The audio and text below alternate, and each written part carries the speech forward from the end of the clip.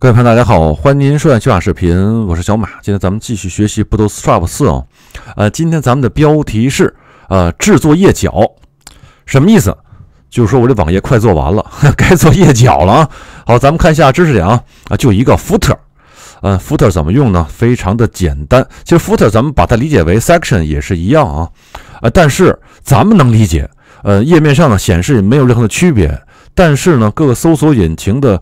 呃，爬虫它可就不能理解喽，所以呢，咱们加上一个 footer，便于爬虫们去理解啊。好，咱们看一下今天的实战演习啊，啊也是不难。首先说，咱们还记不记得咱们在一开始的时候呢，把整个网页分成三个部分：页头、页中和页脚。页中呢是 main 的部分，对吧？哦，今天呢，我就在这 main 的部分里面呢，再加一个 section 啊，干什么？嗯，设计网页时，一般我是这么想，在页头，我把我自己的网站，把自己的这个内容要 a p p 一下，对吧？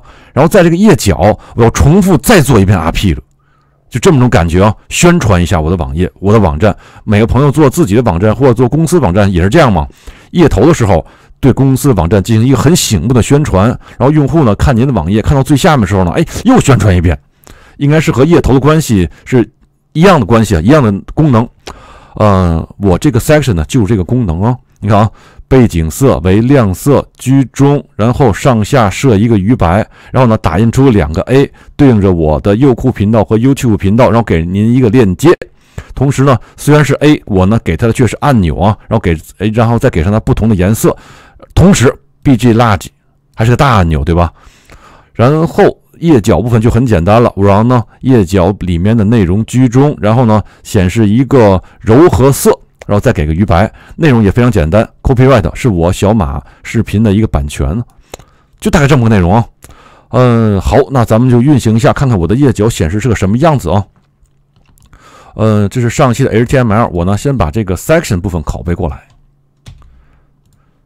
试一下啊，拷贝到 main 当中。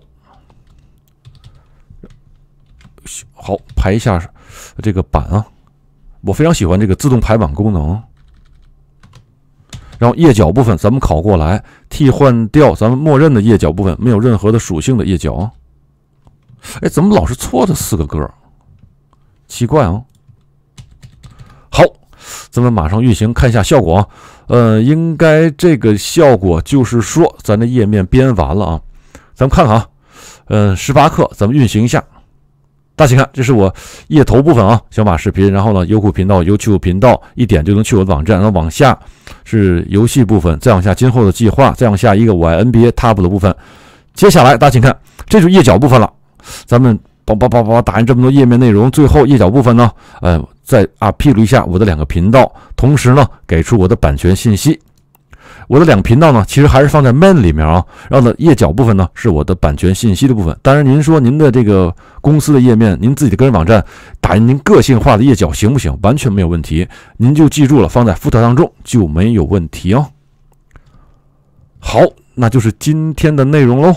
嗯，今天的内容应该是相对比较简单，我想您呢肯定理解掉了哦。然后今天代码呢，我放到开源中国服务器供您下载参照。今天的视频呢，我放到优酷 YouTube 供您观看。那今天这个视频就到这里吧，咱们下期呢再做点儿不都 strap 其他的东西啊，呃，请您期待，咱们下期再见喽，拜拜。